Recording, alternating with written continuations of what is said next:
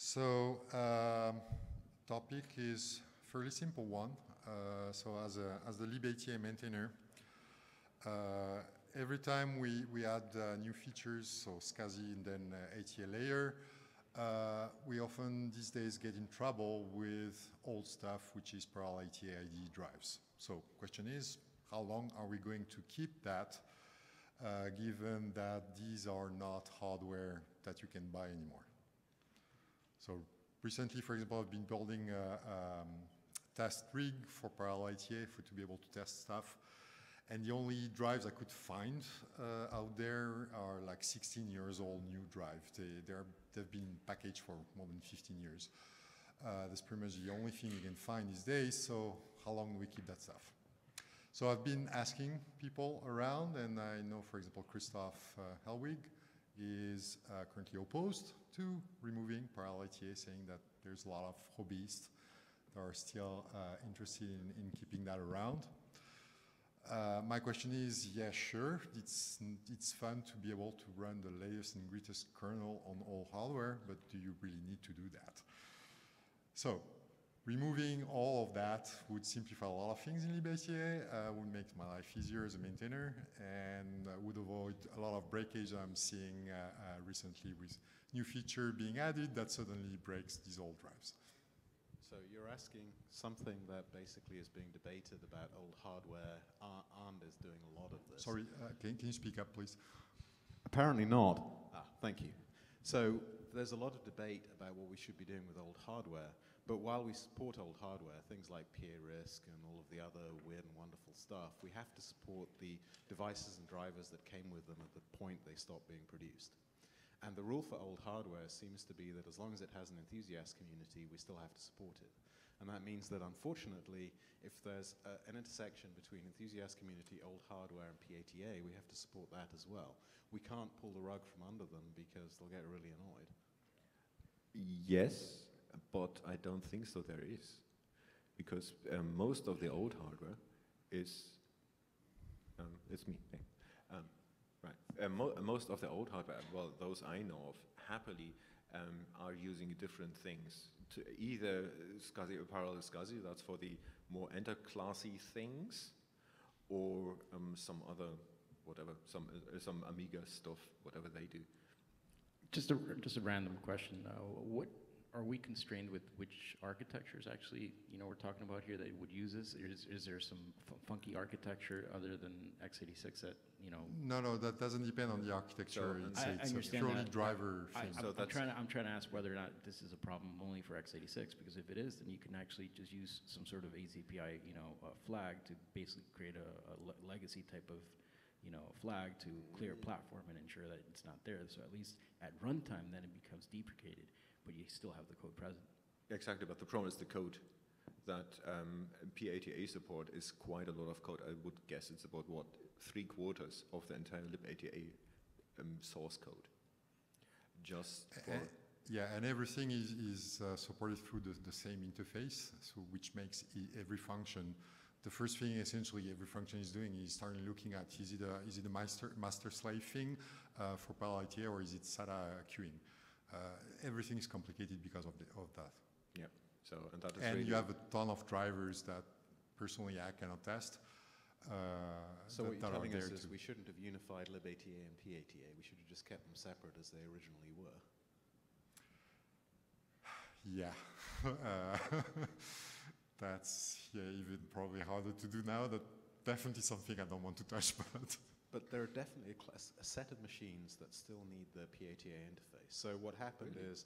Can, you, can really, you name one? All of the really, really early machines were SCSI. So some of the 8-bit SCSI interfaces are still in the older ones. And then the enterprise still kept with SCSI and never adopted ATA. But there are some hobbyist machines like Commodore machines and some of the other weird and wonderful sort of older platforms that actually are PATA. And as long as we have a hobbyist community around those, we're still going to need to support them somehow. I, and that is the problem, so I, because the real problem here is not so much the HBAs or the adapters, you get plenty of those, yeah, right, granted, but you need to connect something to it. Well, and that's their old drives. sorry? They all have their old drives, and accidentally some of the old drives haven't gone pop. Um, well, I, I mean, yes, they do. I, I've, I've got 8-bit SCSI drives that are still rotating. okay. Okay, so. So, but, uh, but I mean, this is, uh, but this is something which will continue to bug us forever and ever. Right, Because- it sounds like the problem you're trying to solve is you want this to, to be a lot less as a maintenance problem and an ongoing evolution of the subsystem problem. Uh, Well, Yes. A- ATA uh, and evolution is kind of, I'm, I'm not sure I want to use those two words in the same sentence, but That's the point. The interface is now fixed. Nobody will have a drive that supports more commands or more anything else. It's all off in the legacy bucket. So all you wanted to do is stop the uh, stop impacting the evolution of SATA. yes. Right. So what we probably really Well, no, so the, the, the parallel ATA being there is, is not actually stopping any evolution of, of the SATA side, of the serial side. Uh, we, can, we can still uh, add new features and, and, and we are doing that.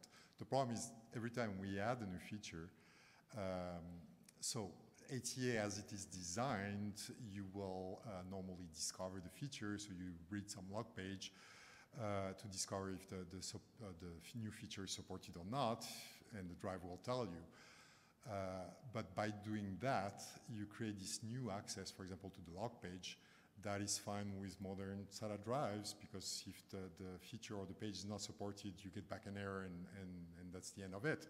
But uh, all the drive just break.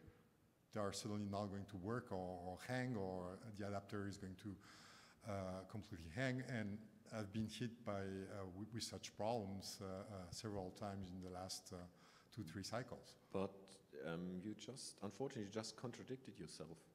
Well, no, it's it's really Because if you, if you, your one argument point is that there is no hardware out there which is doing PATA, then clearly they can't break because they don't exist anymore. No, but the, the point is that uh, um, the new feature come into the latest and greatest kernel. Yeah. Those people with all hardware, do they really need to run that kernel?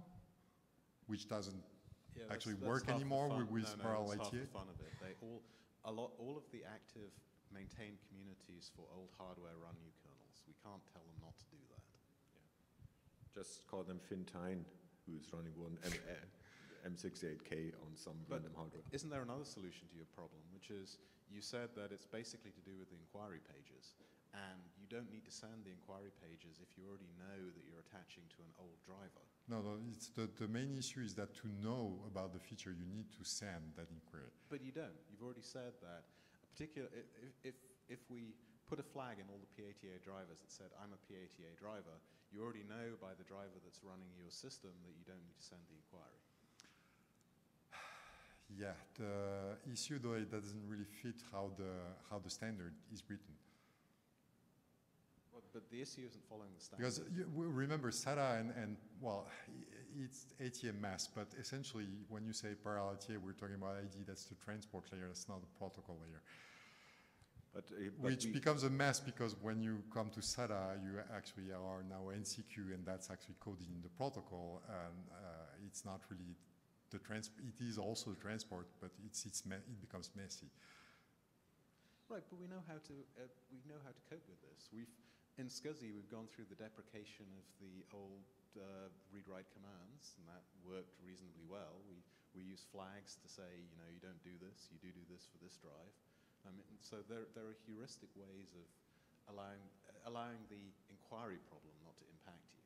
And as long as it's not holding back development of the SATA subsystem, just do some sort of flag thing, call it done, stick it off in a corner, and then Yeah, just it's go on. some, okay, some, yeah, so basically, basically uh, uh, create uh, essentially a class of like legacy hardware and you, you just, new stuff, don't touch those, Yeah. those devices. So essentially, we would need to have the inverse of the current ATA horkage. Um, because currently we do have per device flags, but they need to be actively set per device.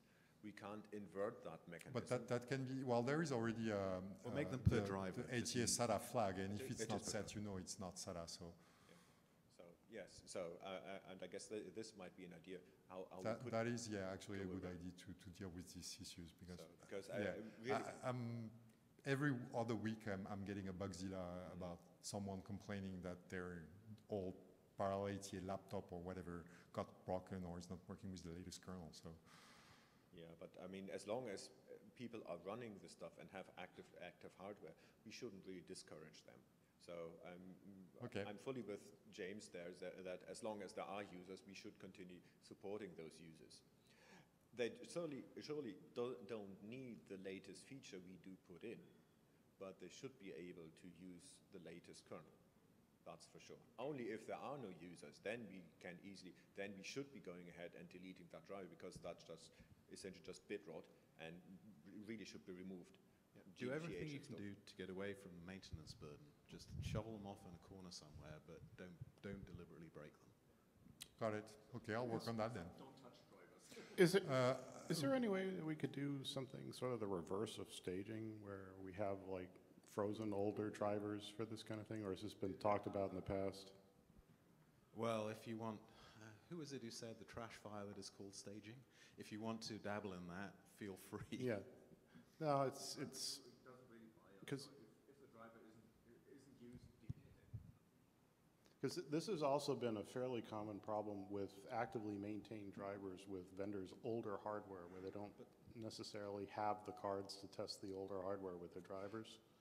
And so it seems like it's sort of a, it's, it's a problem So that sort of extends beyond this specific case, right? It's also partly, uh, uh, uh, so yes, that, that comes into play because uh, one of the other, uh, so I would say reason for, for all the breakage I'm seeing is that it's hard to get people to review and test ATA flags, ATA patches. Right, but I, I, there are a lot of my pull requests. The patches are mine and mine only. There's not not a reviewed by tag on them because I don't I can't get anybody to review and test. and by ATA patches, you mean SATA patches or just? Yes, Well, that's a separate problem. it's related because in the end I'm, I'm pushing stuff that I tested myself in my limited hardware environment and that that leads to breakage. Yes. Just, just to go back to the staging point, staging is a problem. It's a trash fire because lots of people don't compile it. So we won't find out about any breakage we accidentally did until, you know, months and months and months down the road. That makes it a bigger problem to fix. And a more difficult one because once people start squawking, Linus starts hearing and it suddenly becomes a massive emergency. If it's not in staging and it's in PATA, we have a, at least the compile failures we can pick up and hopefully people who are closer to this tree will also pick up other failures. Well, actually, Plus, that one, uh, that one, I worked a lot on it, the compile failures, and, and that, that's been cleaned up and fixed recently. But the, the testing for, for new features are being added to, to make sure there's no regression on all hardware. That's not something I'm, I'm seeing a lot of uh, tested by or reviewed by tags from people. So, and I know people out there are still using ATA again because I'm, I'm seeing, uh, I'm getting uh, reports for, of, of regressions. So. Um, well, so and also moving things to staging doesn't really help um, because you still would need to update or fix dri- uh, drivers if you do any whatever interface changes to to the library itself, meaning to libATA. The drivers still will be affected; they will be just in a different place, but it doesn't change anything really. Yeah, so James, I think what you're saying is the current way that things are done is sort of, it's working as designed in that, you know, if Damien goes and makes a change and it breaks something with PATA for somebody that's got one of these platforms, they're gonna complain. Yeah, they- and I mean, if find once out, no and one so- complains, you can leave it broken, mark it broken, move it from the tree. But if someone's going to notice, you have to fix it because Right, so yeah. you're saying this is the only way that we're gonna find out is because the code's enabled and people that are dependent on it will use it. And regarding the testing, there's always QEMU, and you can always emulate devices in QEMU. It's a pain, but But Well, that no, doesn't but get, get done though. I, Q- I, QEMU has one type of parallelity adapter, uh, CH9 or whatever it is. Uh, there are plenty more out there. And the problem with parallelity, you have the adapter, but you have the drives too, and, and you get a ton of bu- buggy drives connected. So whoever has those drives and you are not careful when you add a new feature and you hit, uh, I don't know, read log, uh, no DMA or whatever uh, um, problem with that drive, you get a system hang and it's not booting anymore. Um, but he actually has a point. Uh, it should be uh, possible to um, have a very simple s- um, PATA drive emulated in QEMU, including all pages and including it's all not gonna find these issues, because the, the reason why Inquire, eh, you know, ends up failing is because it's like a non-standards thing, right, and drivers never saw that. I think no amount of proactive testing in QEMU will ever find your issues. I think the only sane, uh, course of action here is to make LibATA more resilient towards having this happen, right? So James said, have a PATA flag, right, that's fine, so you deal with that on like the inquiry and probe side of things, and then you just sort of split the issue path a little bit, right? So when you do make changes, like for new hardware, it doesn't really impact the old stuff. I think you just need to make LibATA more resilient so that whatever you do new stuff, right, will not touch any of the legacy things. Yep. Because you can't, I mean, we can't move things to staging, or you can have two different LibATAs, right? It's not, that's not gonna work. No, Those no, plus I- adapt I- with yeah, that- just that little wouldn't make things. sense, yeah. You just, you just need to have it so that you can make code changes and test it on new stuff and know it's never gonna affect any of the old things. It'll just keep working the way it has. Um, because that's the only, otherwise you're always just gonna be playing whack-a-mole with uh, somebody saying, oh, I'm running on a 2164 alpha, you know, with this drive, and that fails now because you made this change and whatnot.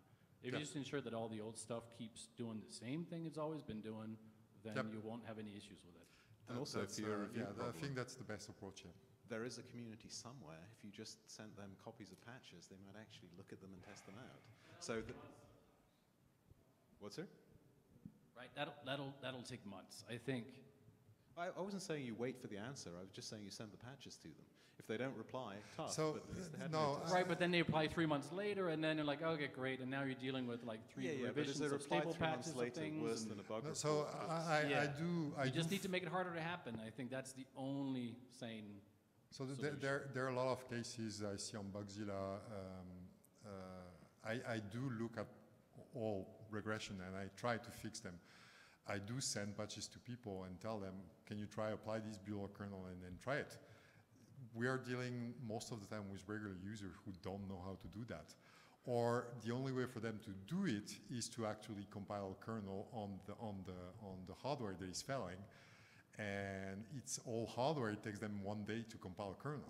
so it is hard to, to ask people to do that. So, but the, the yes. So what you discussed, James and, and uh, Jens, the, the isolating uh, parallel ATA drive, all hardware, to not be touched by any new feature, I think is, is yeah the best approach.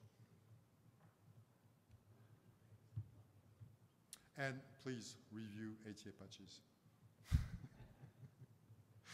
That's all I had. So, thanks.